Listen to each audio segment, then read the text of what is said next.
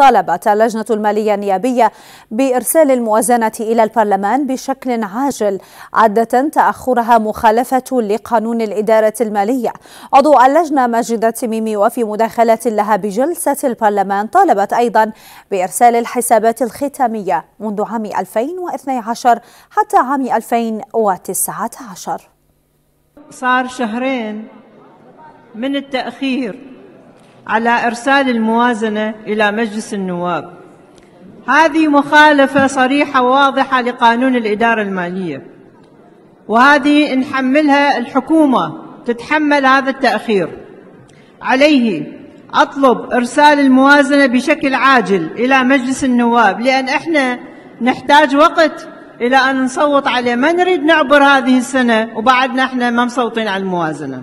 وأطلب أيضا من الحكومة إرسال الحسابات الختامية.